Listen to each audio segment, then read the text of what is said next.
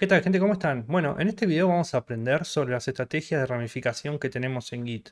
Este no es un video tan técnico, es un video mayormente conceptual, pero vamos a aprender a pensar en qué momento utilizar una estrategia o la otra. También, si no estás suscrito al canal, puedes apretar el botoncito de suscribirte que me va a ayudar un montón. Bueno, para comenzar con el video, primero deberíamos empezar sabiendo qué es una estrategia de ramificación, ¿ok? Esto básicamente es un conjunto de reglas que nosotros vamos a utilizar para gestionar y organizar nuestras ramas en un repositorio Git.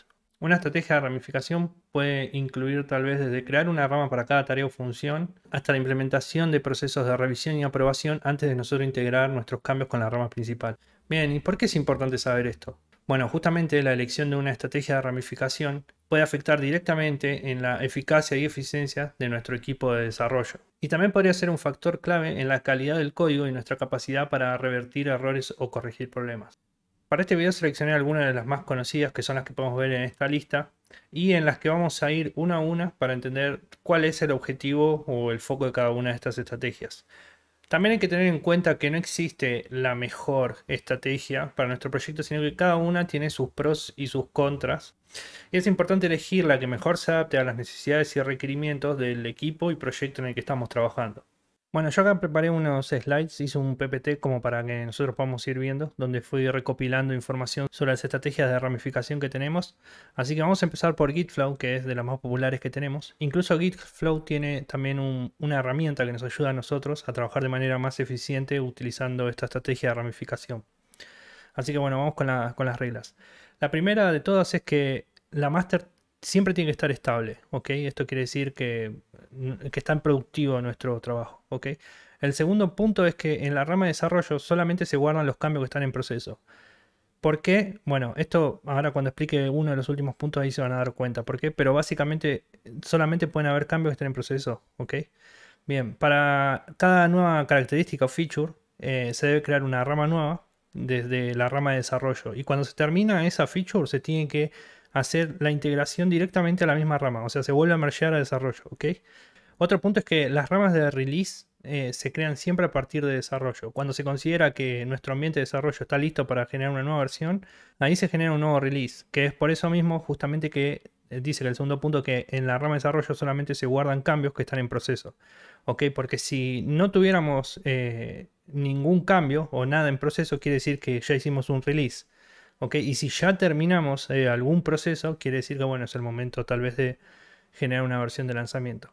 Para los hotfix eh, siempre se crea desde la rama master y se devuelve a la rama master. O sea, vamos a generar un merge a la rama master. ¿ok?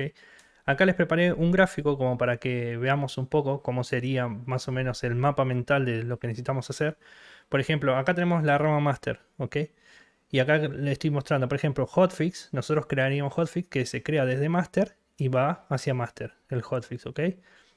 En la rama de desarrollo, nosotros es eh, la rama donde vamos a tener nuestros features, ¿ok? Que van a estar en proceso. O sea, por ejemplo, acá creo un feature nuevo, lo devuelvo a la rama de desarrollo, ¿ok? Y cuando nosotros consideramos que no tenemos nada más eh, en proceso, en ese momento es donde vamos a generar un release, ¿ok? Vamos a generar una versión de release que va a ser la que va a ir a nuestra rama principal, ¿ok? En este caso, generalmente con Gitflow nosotros utilizaríamos tal vez alguna herramienta de versionado, ¿ok? En este caso, generalmente lo que se utiliza es una librería que se llama, una librería o un concepto, mejor dicho, que se llama eh, Semantic Versioning, ¿ok? Eh, el Semantic Versioning es un concepto donde básicamente se basa en que cuando nosotros hacemos una versión major, se llama a una versión que tal vez no es compatible con el código anterior que teníamos, le vamos a aumentar el primer número, ¿ok? Cuando estamos haciendo un release nuevo, que sería acá en este caso del último ejemplo que estoy mostrando, se aumenta el número del medio, que es el minor. Y cuando se arregla algún fix o un patch, se aumenta el último número. ¿ok? Eso, eso es el concepto de semantic versioning o versionado semántico. Bueno, vamos ahora con las ventajas y desventajas de Gitflow. La primera es que vas a tener una estructura clara y predefinida, eso está claro, porque vamos a tener todo eh, mucho más ordenado, o sea, vamos a entender nuestro proceso, en qué momento, cuándo hacer cada cosa. Esto mejora la colaboración, facilita la gestión de versiones, eso es cierto, porque por ejemplo, nosotros al tener ya una estructura predefinida, por ejemplo, eh, sabemos que tenemos la rama hotfix, se crea pura y exclusivamente de master y se vuelve master. Eso quiere decir que sabemos que cada vez que mergemos una rama de hotfix dentro de master, vamos a aumentar el último numerito, ¿ok? O bueno, o, sea, eh, la estrategia que utilicemos para, el versionado de nuestra aplicación. Pero suponiendo que sea semantic versioning, eh, vamos a hacer aumentar el último numerito. Mejora la calidad del código. Bien, ahora vamos con las desventajas. Bueno, las desventajas es que tenés una complejidad adicional, eso es cierto. Eh, tenemos muchos procesos, un, proceso muy grande, que tal vez para un proyecto más chico no sea la mejor opción. Tal vez esto nos puede servir para un proyecto que sea muy grande, Gitflow, eh, que necesitas siempre de mayor control, sobre todo cuando el proyecto va creciendo, va creciendo, es donde más control necesitas de las cosas. Eh, requiere una mayor disciplina, es cierto, tenés una curva de aprendizaje tal vez un poco mayor eh, dentro del proceso de cómo funcionan las cosas, puede ser más lento, también es cierto que va a ser más lento, porque tenemos una cierta burocracia extra dentro de nuestro proceso y puede ser menos flexible. Bien, vamos con el Trunk Based Development. Esta estrategia se basa en que todo el desarrollo se hace en la rama master, ¿ok? Vamos haciendo siempre confirmaciones pequeñas, eh, irregulares constantemente, o sea, voy corrigiendo, agrego un botón, lo, lo mergeo, agrego un texto, lo mergeo, agrego cualquier cosita, lo mergeo. El código siempre tiene que estar en estado funcional, o sea, esto quiere decir que cada vez que hacemos un test, eh, un test, cada vez que hacemos un commit, por más chiquito que sea, eh, tenemos que estar seguros de que va a estar funcional. Generalmente se utilizan herramientas de CI para detectar errores y, problemas de forma temprana. ¿Por qué esto? Porque nosotros eh, lo que vamos a hacer es por cada merge, por más pequeño que sea, vamos a rodar todos los tests de vuelta. Vamos a siempre correr todos los tests en cada iteración, en cada commit que subimos a nuestro repositorio. Se adoptan prácticas de desarrollo ágil como la planificación iterativa, entrega continua y asegurar la eficiencia y la velocidad. Bueno, la verdad es que este tipo de estrategia de ramificación está 100% pensada para nosotros tener una pipeline configurada y totalmente automatizada, ¿ok? Que es donde vamos a apoyar siempre una rama, siempre una rama y esta va a estar corriendo los tests constantemente. Y en el caso, bueno, de que un test se rompa, nada, lo arreglamos y lo volvemos a integrar hasta que, hasta que funcione. Bueno, esto es como se vería nuestro flujo de trabajo vamos a tener personas pusheando todo el mundo a una sola rama. O sea, eh, no, tenemos complejidad casi como en el caso de Gitflow.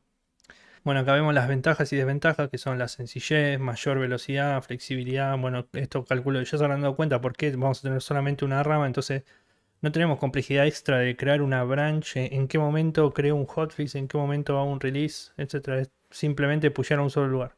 Bien, en la parte de desventaja tenemos riesgo de conflicto, eso es cierto, porque si tu test falla y otra persona hizo un push eh, antes que vos, eh, nada, vas a tener que arreglar ese conflicto antes. Lo que sí es cierto que no va a ser muy complicado tampoco, porque como van a ser siempre cosas pequeñas, no vamos a tener que comparar tampoco mucho código eh, para hacer el merge. Generalmente van a ser cosas pequeñas. Y bueno, nada, esta estrategia también puede ser un poco menos escalable que las anteriores. Bien, hablemos del Feature Branch Workflow.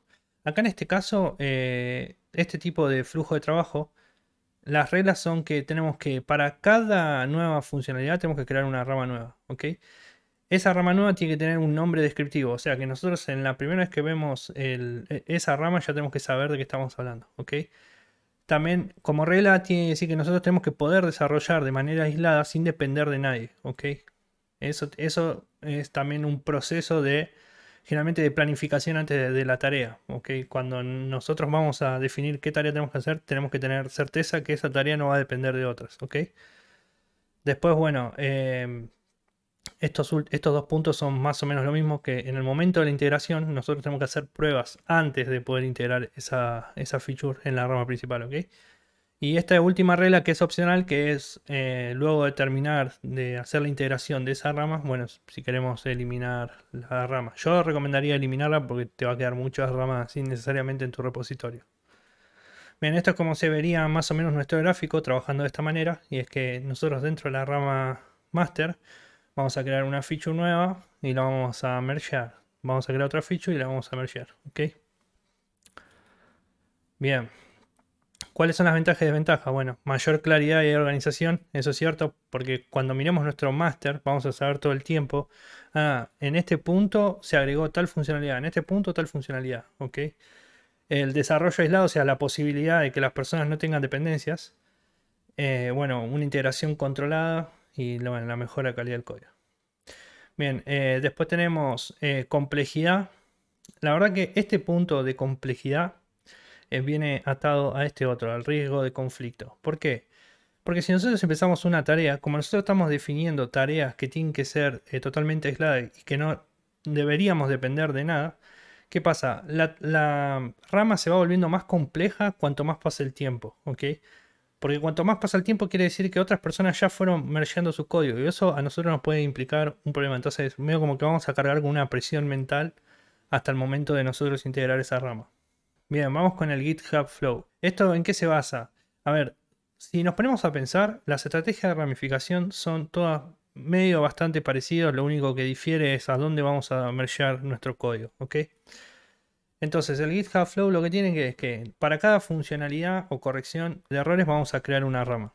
¿ok? Lo que vamos a hacer es, en esa rama, en vez de decir tal vez hotfix, le vamos a poner fix o lo que sea. ¿ok? En GitHub lo que vamos a hacer es vamos a utilizar pull request. Para cada, cada cosa, branch, lo que sea que hagamos, creamos una pull request.